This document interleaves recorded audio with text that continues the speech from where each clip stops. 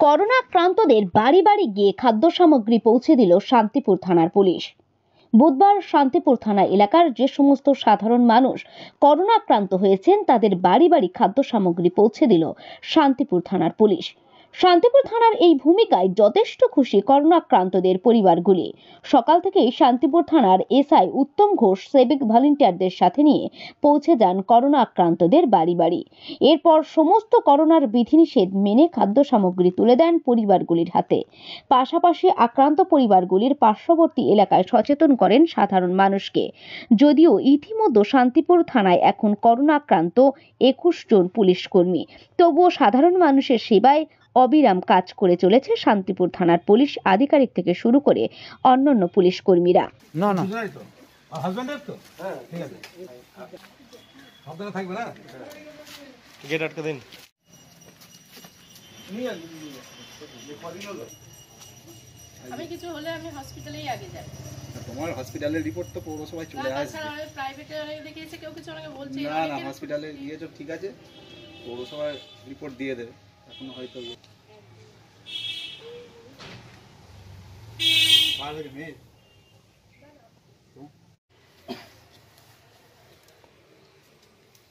একটা প্লাস্টিকের চেয়ার বা কাঠের দিকে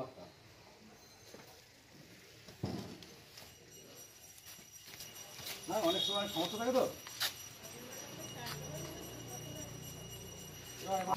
আপনি দূরে থাকুন আপনি দূরে থাকুন আপনি দূরে থাকুন। আপনি ওখানে থাকুন। হ্যাঁ।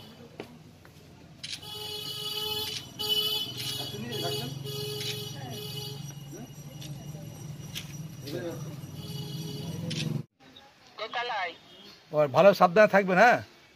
আপনি কোথাকার স্টাফ আপনি? আমি শান্তিপুর ব্লকের staff Shantipur health supervisor thank you তাহলে আপনি সাবধানে থাকবেন। আমরা এই থানা থেকে খাবারের অ্যারেঞ্জমেন্ট করছিলাম একটা প্যাকেটে আপনার কি প্রয়োজন আছে তাহলে দিয়ে আসি বলুন। না না দরকার নেই। থ্যাংক ইউ থ্যাংক ইউ আপনি একটু সাবধানে থাকবেন। হ্যাঁ হ্যাঁ ঠিক আছে। হেলথ সুপারভাইজার হেলথ সুপারভাইজার কোন সেন্টারে কাজ করেন? আমি বাবলার যে সিসিপি আছে কোলচেন পয়েন্ট বাবলায়। ও তার মানে সেই আপনার সঙ্গে বোধহয় পরিচয় হয়েছিল বাবলা যখন গেলাম একবার কোভিড নিয়ে সেই ঝামেলা অশান্তি তখন ছিলেন আপনি? তাহলে নিশ্চয়ই পরে কথা হয়েছে। ঠিক আছে সাবধানে থাকুন। ঠিক আছে। Thank you okay okay.